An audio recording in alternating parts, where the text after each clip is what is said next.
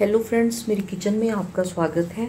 आज हम बनाएँगे ब्रेड चीज़ी पॉकेट जो कि बहुत ही टेस्टी बनती हैं और खूब चीज़ी बनती हैं। ऊपर से क्रिस्पी होती हैं और अंदर से बहुत ही चीज़ी होती हैं। तो चलिए हम शुरू करते हैं।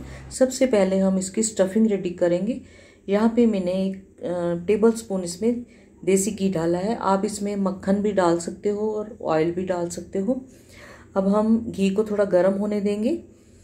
गर्म होने के बाद हम इसमें हमने थोड़े से लहसुन की कलियों को लिया, उसको ब्रिक ब्रिक चॉप कर लिया है। अब हम इसको थोड़ा सा पका लेंगे। और एक हरी मिर्च को ब्रिक काटा है। इसको हम थोड़ा पकाएँगे।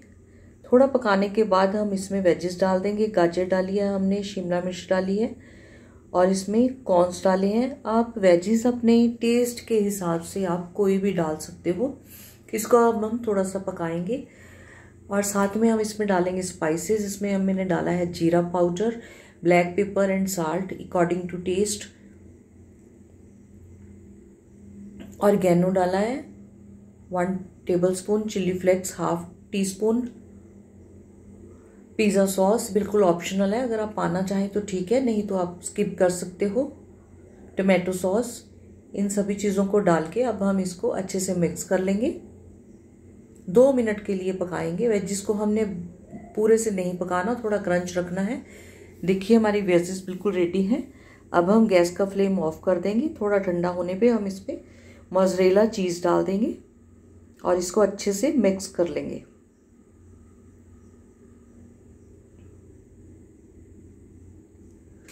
तो अब हम इसको ठंडा होने देते हैं थोड़ा।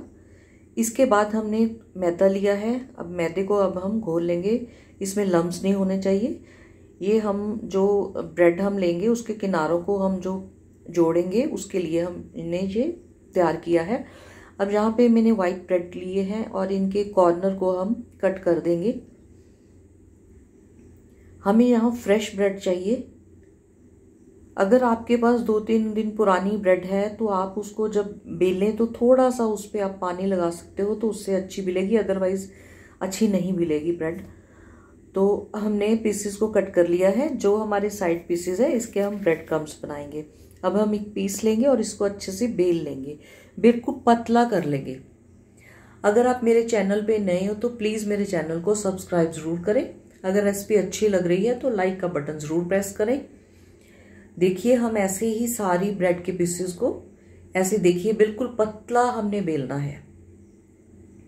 ऐसे ही हमने चारों पीसेस को बेल लिया है। अब हम इनके किनारों पे जो हमने मैदे की जो सैलरी बनाई है, वो हम इसके साइडों में लगा देंगे। इससे क्या होगा, जो हम इसमें वेजेस डालेंगे तो ब्रेड को बाइंड करने में हमारे ये काम आएगा।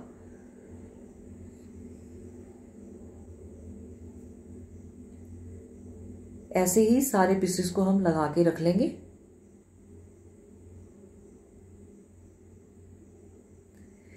हमने यहाँ पे लगा ले हैं।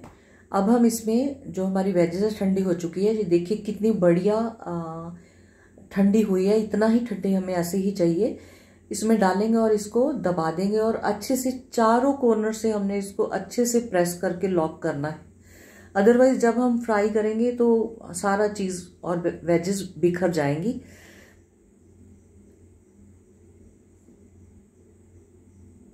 देखिए, हमने इसको सेंटर में रखा है वेजिस को।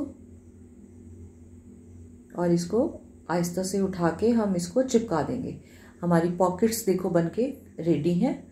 ये देखिए, चारों तरफ़ से हम इसको अच्छे से दबा के इसको फिक्स कर देंगे। ये देखिए, हमारी पॉकेट्स रेडी हो चुकी हैं, ऐसे ही दूसरी भी तैयार कर लेंगे। इधर मैंने मैदे का घोल लिया है, इसमें मैंने ऑर्गेनो डाला है थोड़ा सा इसको थोड़ा सा हम पतला कर लेंगे। लम्ब इसमें बिल्कुल भी नहीं रहने चाहिए। अच्छे से मिक्स कर लिया है मैंने। तो अब हम क्या करेंगे? एक पॉकेट उठाएँगे, मैदे के गोल में डालेंगे। और यहाँ पे हमने ब्रेड क्रम्स लिए हैं और इसको जो हमारा हाथ सूखा है, उसके साथ हम ब्रेड क्रम्स लगाएँगे। इसको अच्छे से अच्छे से इसकी कोटिंग कर लेंगे।